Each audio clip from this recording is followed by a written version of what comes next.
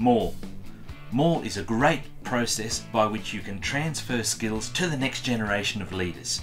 So, in transferring skills, you want that next generation to really be able to pick up on your skill set and do it well, particularly in a university context where you're only there for a few years.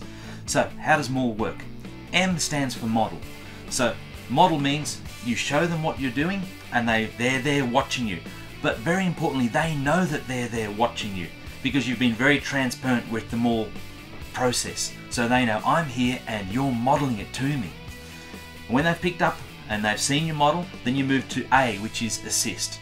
So assist, you're still there with them. They're not flying solo yet, and you're assisting them as they now perform that skill. When they've grown in competence and you think, okay, we're ready to go to the next stage, they also know they're ready to go to the next stage and hopefully are keen about I'm progressing in my training. Next stage is the W, which is watch. This is where you're still with them, but they are more flying solo in a sense because you're sitting back and you're watching them as they go about this skill and you'll give feedback and things at the end, but you're not going to jump in and save them all the time. This is they have the, the freedom to fail if you like because they're not you're not building a true leader if you're going to jump in and rescue them all the time. And failure is something they will then learn from when they make mistakes here, get feedback, and they'll develop into a much more competent leader. Then after they're, they're good with watch, you then progress to L. And this is a very important section. L stands for leave.